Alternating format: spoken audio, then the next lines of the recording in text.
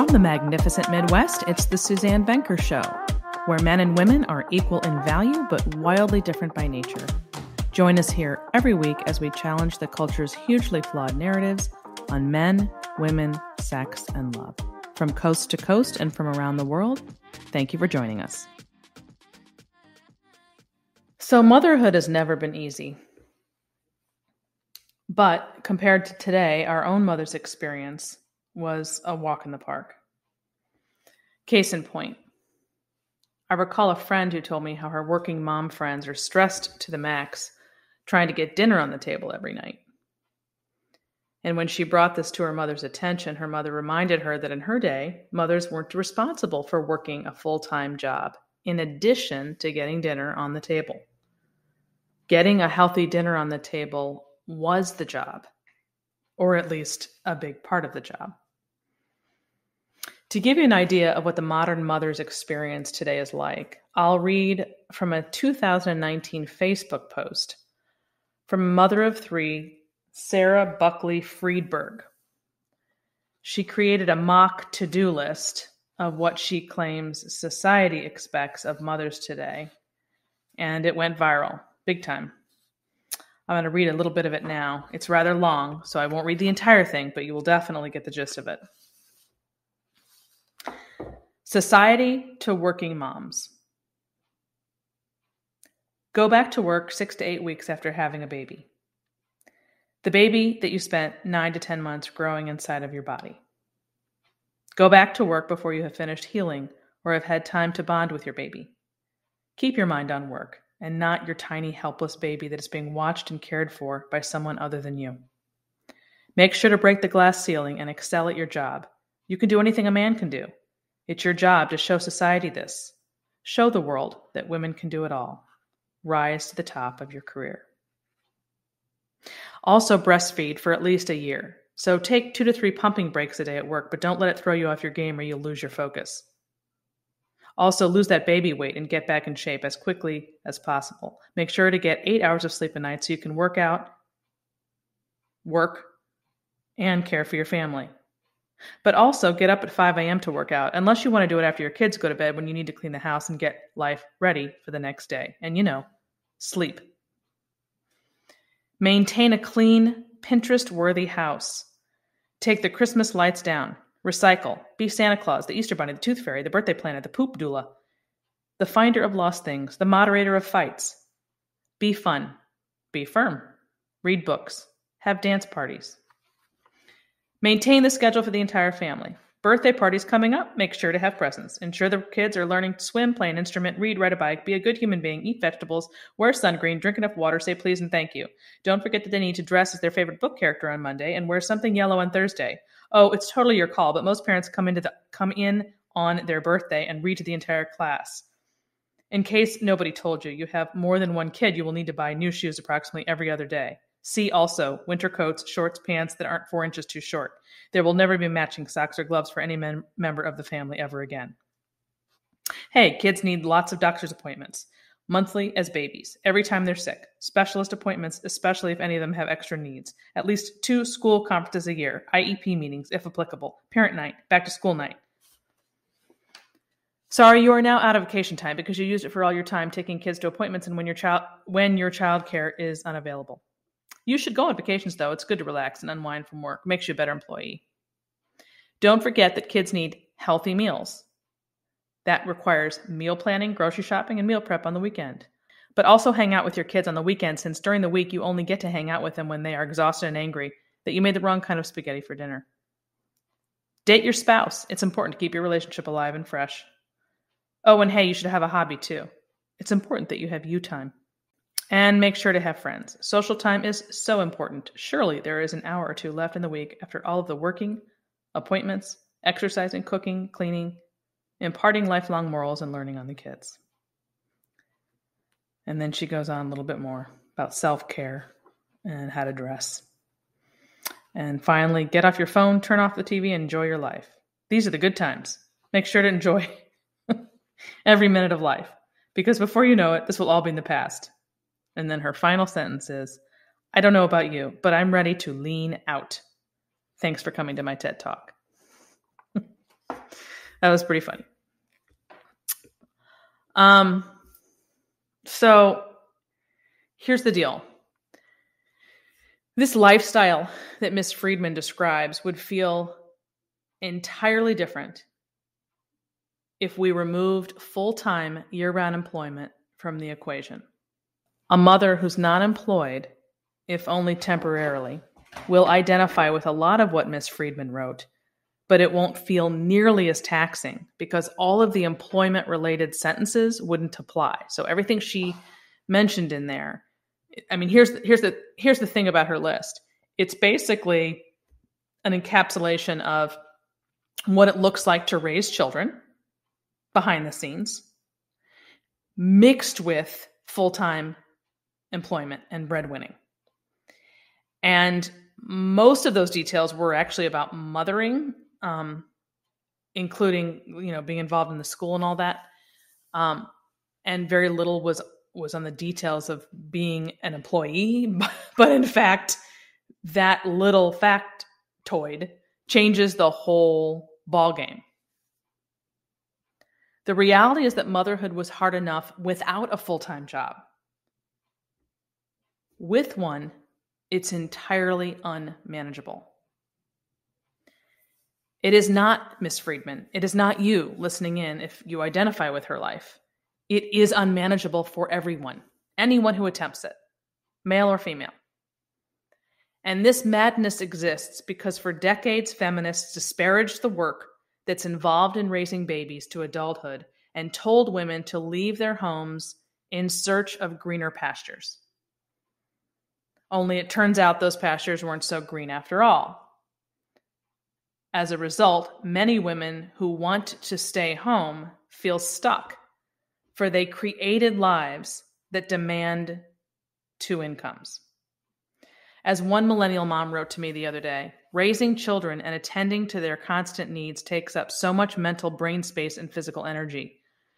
There are times when my business needs attending, and when this happens while my child wants to play, I get a lump in my throat. The push and pull is relentless. End quote. This push and pull is an unspoken, unaddressed reality for millions of women who've been encouraged to reject their maternal nature.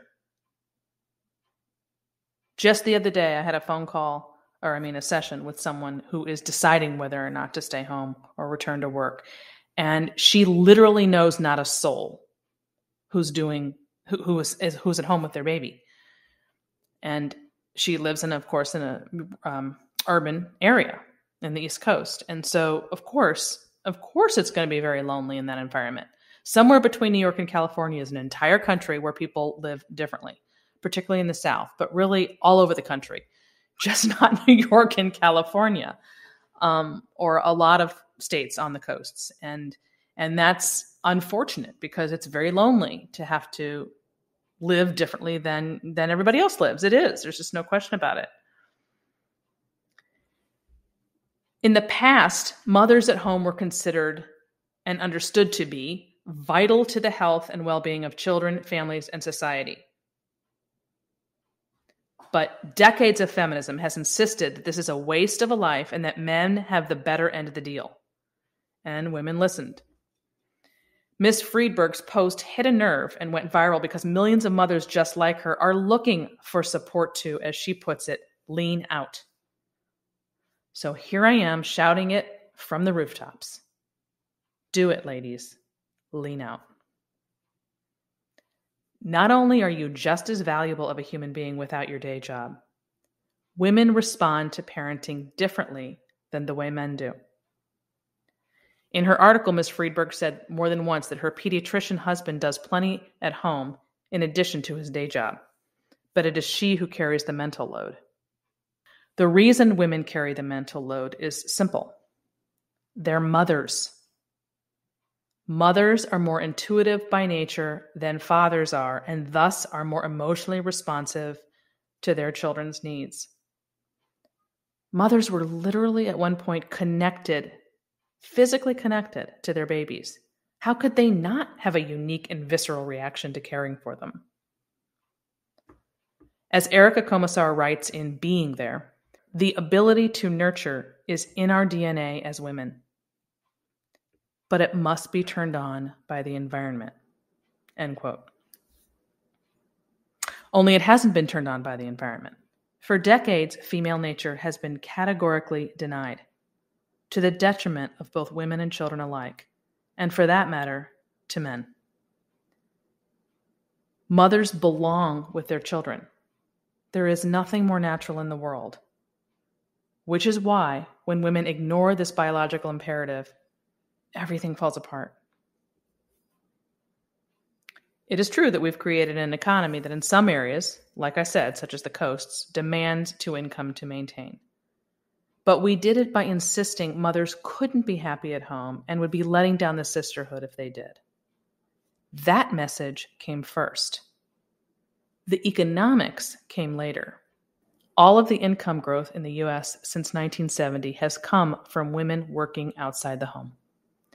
That's what raised the GDP, making it harder for families to live on one income. And note the date 1970. That's when feminists began their push to get mothers out of the home and into the workforce. It was a calculated ideological and political move, and it worked. Married mothers didn't leave their homes en masse because they needed money. They left because they were pulled in a different direction. People need to be valued for the work they do, and the workplace was fast becoming the place to get it. It was this loss of respect, this elitism really, that fueled the dual income family. Whether or not this country will manage to turn things around doesn't mean you can't. Yes, mothers who want to be home need practical solutions for how to make it work. They need the tools to learn how to live on less, how to use their time at home, how to keep a toe in the professional waters, etc. But first, they need respect for the overwhelming amount of work that is involved in raising babies to become mature adults. Mothers are literally responsible for the emotional well being of our citizens. The epidemic of mental health disorders in America's young people, which is well documented, is 100% related to the breakdown of the American family that began with mothers leaving their home, homes in mass. To the cluelessness of Americans about what actually goes on inside the home as mom and baby go about their day. It is not work that is visible to the naked eye. Like the teaching profession, this work is invisible except to the people who quietly do it. That's why it's so critical that women get the support they need to map out a life that allows them to not run around like chickens with their heads cut off so they can enjoy motherhood rather than resent it, which many of them today do. That's just one reason there's been a sharp decline in women having children at all. There's a completely different way for marriage minded women to live. By reversing their priorities, by putting marriage and family at the center of their lives and tailoring all other life decisions academically, professionally, and financially around that instead, their lives will function more smoothly. You will not end up writing something like Miss Friedman did. Is it best to do all this when you're younger? Yes. But it's never too late to reverse course. I don't know whether or not Sarah Buckley Friedberg's question at the end of her post was rhetorical, but I'll assume it wasn't. Leaning out is always an option if you're a mother who's married to a steady breadwinner. Too many parents convince themselves they quote unquote have to work because they don't know how to live on a budget. It makes perfect sense that these parents would assume mothers at home are fortunate or even rich. Otherwise, otherwise, why else would they be there? They couldn't possibly choose to live on less, so they must be wealthy. As Stephen Covey wrote in The Seven Habits of Highly Effective Families, it's easy to get addicted to a certain standard of living and to make all other lifestyle decisions based on the assumption that both parents have to work full time. The point is that there are options, there are choices. End quote. Like canceling cable, or going out for lunch instead of for dinner, or not going out at all and cooking in your very own kitchen. or ironing your clothes rather than taking them to the dry cleaner, or making coffee instead of going to Starbucks, or making your gifts instead of buying them, or having dates with your spouse that don't require spending a lot of money, or keeping the same car for 10 years, or using cloth towels instead of paper towels, or checking books out from the library instead of buying them from a bookstore, or not spending a lot of money on birthday parties your kid will barely remember, or only going on one vacation every other year. Bottom line, lower your financial expectations and start living on a budget. It can be done, and people do it all the time, every day. You can even move if you have to. Move to an area of the country that is more manageable from a financial standpoint with one income. Think outside the box. Move away from what you're told by everyone around you and really think about it in terms of your values, your priorities, and do the homework on the math. All of this may sound daunting, but that's mostly because it's so new to the modern generation who've never had to make do. Our digital world has made it so that everyone's used to having what they want the moment they want it. I mean, now you you just click and something's at your door.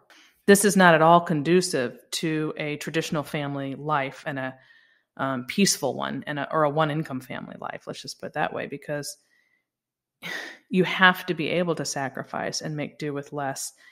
But your trade off, your trade off, because we're so focused on the money piece and the comfort in that sense, but we run around like chickens with our heads cut off and we and we live like this Miss Buckley described.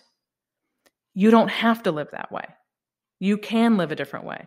And that so the trade-off of living on less is not having to live that way. It's not having that push and pull. It's taking the moments that you have and the years that you have and throwing yourself into it in a way that allows you to enjoy it at a slower pace, the way it's meant to be done, rather than doing what you think everyone else is doing around you or what it looks like everyone else is doing or what everyone tells you you're supposed to be doing and having your mind solely focused on the bottom line. You know, raising a family, money is only a part of that equation. It's just a piece of it. And yes, of course you need money. And yes, you have to be in a place that's manageable. And yes, there's all this there's all this math to figure out. But I'm telling you, the math is doable for many, many, many people. It's just that no one's showing them how. And they're suffering as a result. If there's anything COVID has taught Americans that I can see, it's that they can live on less if they have to. And sometimes they must. And that ends this hour of the Suzanne Venker Show. Before you leave us, I'd appreciate it if you take one minute to give us a review at Apple Podcasts or whatever platform you use. If you've done that already, or if you can't leave a review on your podcast player for some reason, please consider sharing the show with a friend or a family member. Word of mouth is the primary way we get the word out about the Suzanne Venker Show. Thanks for listening, everyone. Have a great week.